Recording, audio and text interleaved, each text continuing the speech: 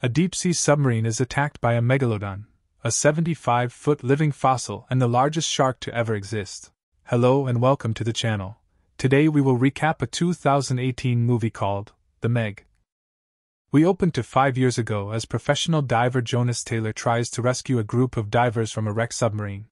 Jonas succeeds in getting some of them on board, including Dr. Heller, but something starts attacking the sub violently. This forces Jonas to make a difficult decision, against Heller's protest, to abandon the submarine in order to escape certain death.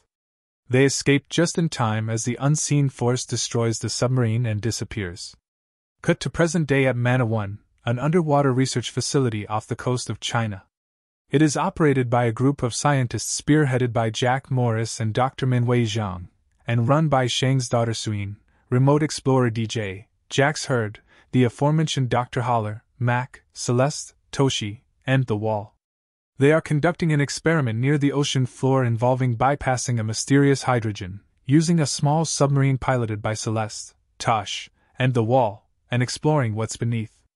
All seems well at first, but the trio is attacked and stranded by something large and fast, causing them to lose contact with Mana 1. They later try getting power back up and running, but are attacked again and Celeste is wounded by a screwdriver getting rammed into her stomach. The rest of the crew, after much debate, decide to take Mac's advice and call Jonas in to help rescue their stranded friends due to his experience with rescuing people from such a deep, dangerous area of the ocean.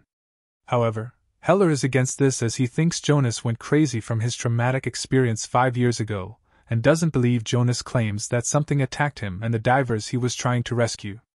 The plan goes ahead regardless.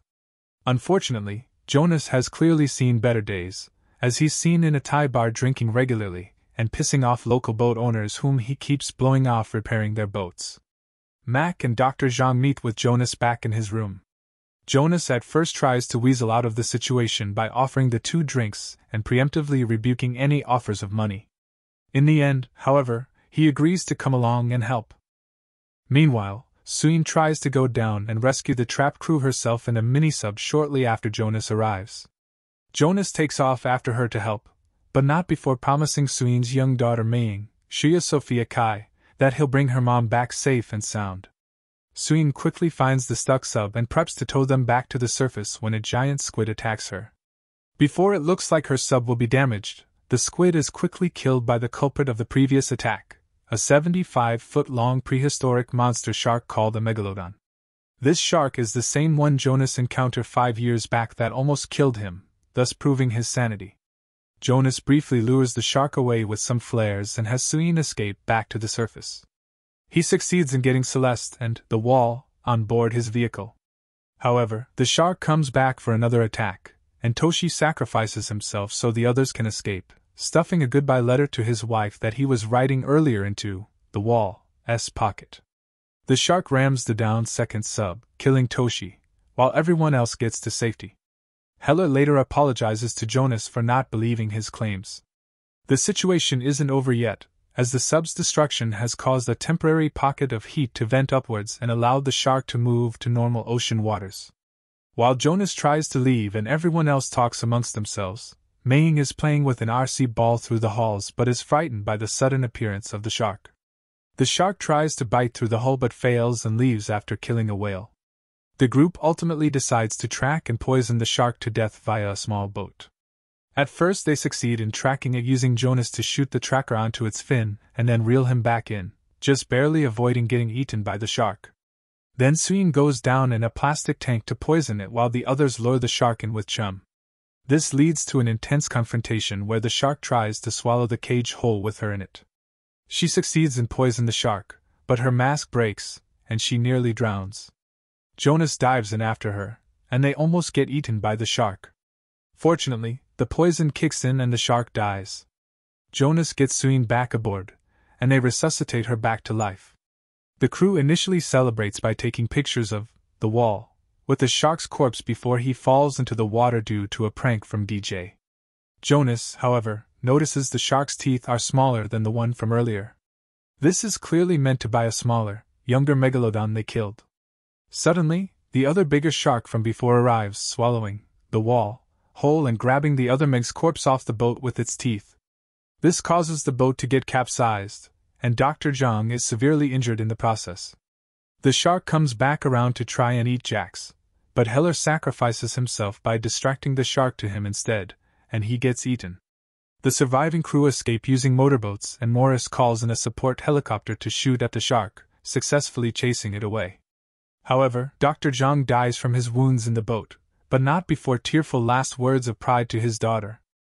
Later that night, Morris tells the crew that they're shutting down Mana 1 and the authorities in multiple Asian countries have been called to deal with the shark. However, it turns out he's lying through his teeth, and he actually called in some minor military support to try and kill the shark on his own using depth charges dropped from the helicopter.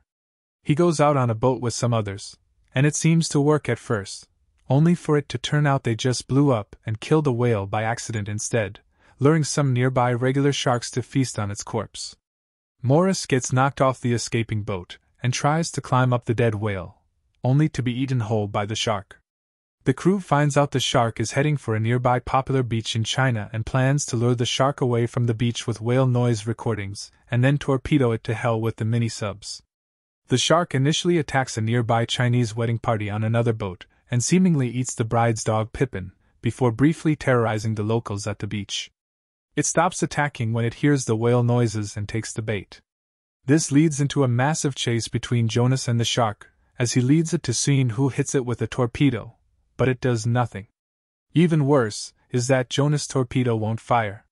During the fight, a group of news helicopters trying to film the action stupidly crash into each other, and the wreckage crashes onto the team's boat, forcing everyone into the water. Suyin goes to help the others, while Jonas, in an attempt to protect everyone, goes head on with the shark, slicking its underbelly open badly with the sub. He then gets out of the sub once the shark tries mauling it, and stabs it through the eye, mortally wounding it. A dozen regular sharks move in to finish it off and eat it alive, ending the threat. With the danger past, everyone regroups aboard the wedding couple's boat, including Pippin the dog, who turned out to have survived. Jonas and Suyin are presumably now a couple, their romance being hinted at throughout earlier in the movie. The movie ends with everyone celebrating their victory, and the oceans are now safe. I hope you enjoyed the explanation. Please don't forget to like and subscribe.